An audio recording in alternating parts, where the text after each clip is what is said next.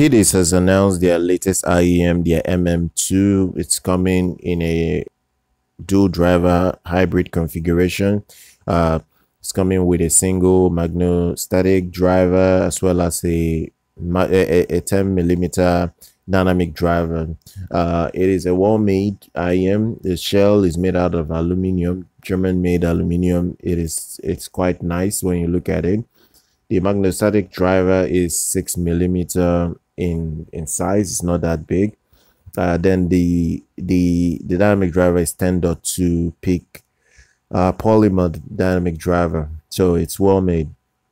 It's uh it, it's also coming with three tuning nozzle filters for three different audio experiences. You have your treble, balance, and then bass uh, tuning nozzle. So it all depends on what you're looking for. You can get some decent sound performance out of the IEM. It's coming with uh, a two pin connection um, cable, uh, a, a copper cable to be exact. So if you're buying it, know that it's coming with a copper cable. You could also upgrade the cable if you want to. It is one of the most affordable IEMs you could buy. Uh, I think it's well priced, eighty dollars. I think at eighty dollars, this is a pricing that works for most people. It's not a bad pricing; it's a decent pricing.